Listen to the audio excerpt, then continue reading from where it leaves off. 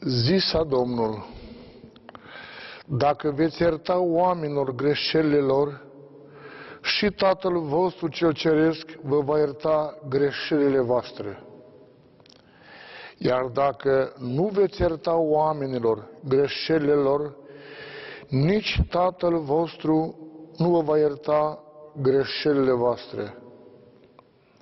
Când postiți, nu fiți triști ca fățarnicii, că ce își întunecă fețele ca să se arate oamenilor că ei postesc.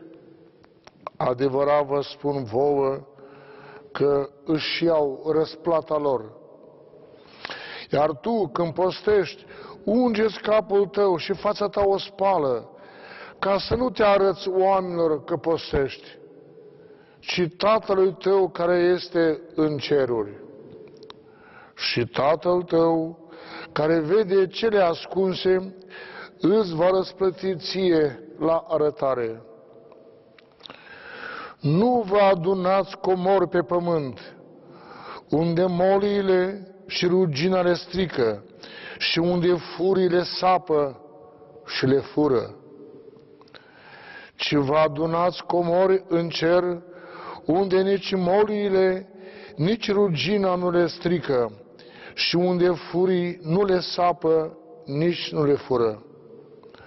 Căci acolo unde este comoara voastră, acolo va fi și inima voastră. Sfântul Apostol Pavel ne spune că pe pământ noi nu avem cetate stătătoare. Nu avem un loc unde să fim depozitare și trezorierii unor averi incomensurabile. Mântuitorul ne îndeamnă ca prin faptele bune, dovadă a dragostei față de ziditorul nostru și față de semenii nostru, ă, putem să ne strângem comori nestricăcioase, neperisabile în împărăția Dumnezeu care, una, că nu este din lumea aceasta, dar este și fără de sfârșit, cum cu toții mărturisim în crezul nostru. Milostenia, postul, facere de bine, sunt virtuți pe care nu doar în perioada imediat următoare a Sfântului și Marului Post trebuie să le înfăptuim, ci oricând în viața noastră, pentru că Hristos și ieri, și azi, și în veci același este.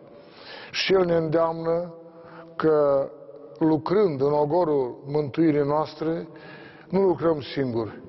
El este cu noi în toate zilele până la sfârșitul veacului. Amin. Și